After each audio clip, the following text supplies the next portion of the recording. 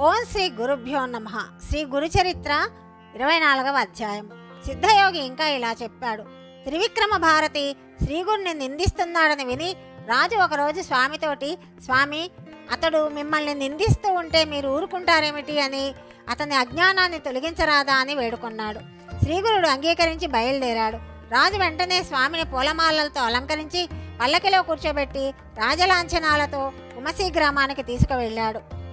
ఆ ఊరేగింపు మహావైభవంగా కుమ్మసి గ్రామం సమీపించే సమయానికి త్రివిక్రమ భారతి పూజ చేసుకుంటున్నాడు. ప్రతిరోజు నరసింహావతారం అతనికి దర్శనమిచ్చేవాడు. త్రివిక్రముడు ఆ మూర్తిని మనసులో నిలుపుకొని మానస పూజ చేసేవాడు. కానీ ఆ రోజు అతడెంత ప్రయత్నించినా ఇష్టదేవతామూర్తి దర్శనమియ్యలేదు. త్రివిక్రముడు స్వామి నృసింహ ఈరోజు మీరు నన్నెందుకు కరుణించలేదు? ఎంతో కాలంగా చేస్తున్న నా తపస్సంతా ఈరోజు భంగమైంది. ఇక నేనేమి చేయగలను అనే ఆర్తితో తనను కరుణించమని ప్రార్థించాడు.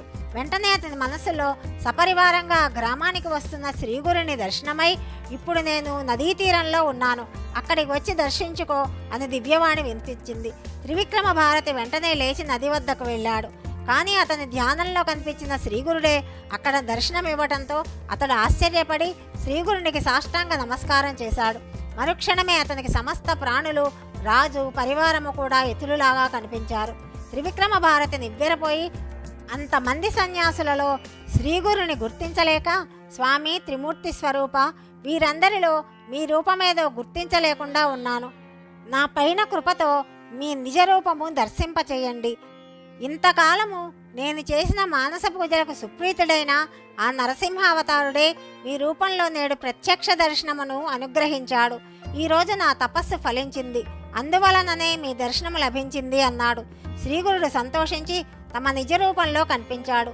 అందుకు ముందు కనిపించిన యతీశ్వర రూపాలు అదృశ్యమై వాటి స్థానాలలో స్వామి అనుసరించి వచ్చిన రాజు పరివారము కనిపించారు.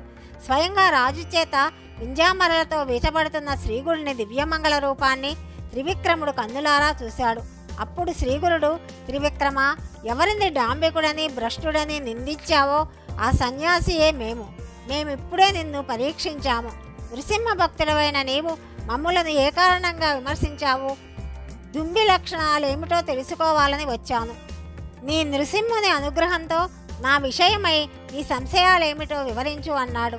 శ్రీగురుడు తన విషయమంతా వివరించి చెప్పటమే కాకుండా ఆయన ప్రసాదించిన దివ్య దర్శనంతో పరవశించిన త్రివిక్రమ భారతి శ్రీగురునికి నమస్కరించి సద్గురోత్తమ మీరు మానవ రూపంలో అవతరించడం వలన నేను తెలియక మూడిని వలె ప్రవర్తించాను. నన్ను క్షమించండి. విదురుని వద్దకు ద్రౌపది వద్దకు అనుగ్రహించవచ్చిన శ్రీకృష్ణుని వలె నన్ను అనుగ్రహించటానికై మీరే స్వయంగా వచ్చారు. మీరు సాక్షాత్తు త్రిమూర్తి రూపులైన పరమేశ్వరులే. పగటి వెలుగును చూడలేని గుడ్లగోబలాగా అజ్ఞానినైన నేను మీ పరంజ్యోతి స్వరూపాన్ని గుర్తించలేక భ్రమించాను. మీరు నన్ను జ్ఞానమనే నావలో ఎక్కించి మీ కృపయనే అనుకూల వాయువును ప్రసరింపజేసి ఆత్మయనే ఒడ్డుకు చేర్చండి.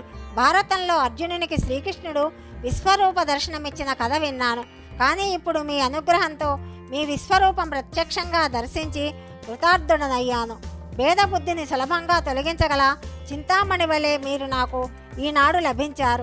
మీరే నా ఉపాసన దైవమైన నృసింహ స్వరూపులు శరణు శరణు అని స్తుతించాడు. శ్రీగురుడు అతనిని అనుగ్రహించి త్రివిక్రమ నీ భక్తికి సంతోషించాను. నీవు నృసింహస్వామికి చేసే అనుష్ఠానం మాకే చెందుతుంది. అదే చేస్తూ ఉండు. నీకు పునర్జన్మ లేదు. నీవు జీవన్ముక్తుడవై పరమాత్మలో ఐక్యమవ్వగలవు అని ఆశీర్వదించి త్రివిక్రమ భారతిని ఆ గ్రామంలోనే ఉండమని ఆదేశించాడు. ఆయన గ్రామాధిపతితోనూ పరివారంతోనూ మాకు అనుష్ఠాన సమయమైంది. మేము ముందుగా వెళ్తాము. మీరు వెనకరండి అని చెప్పి మనోవేగంతో సంగమానికి చేరుకున్నాడు. తర్వాత శ్రీగురుడు స్వస్థానమైన గంధర్వపురం చేరాడు. కాబట్టి నామధారక శ్రీగురుడు భగవంతుడి కాడని మానవ మాతృడేనని తలచేవారు ఏడు జన్మలు నరకం అనుభవిస్తారు.